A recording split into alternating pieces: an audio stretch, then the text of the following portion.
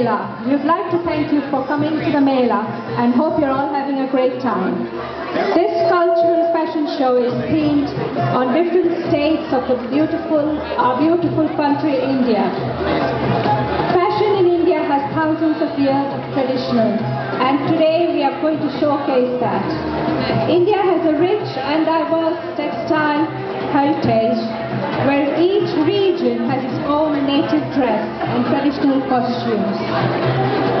Textiles in India vary from region to region depending on ethnicity, climate,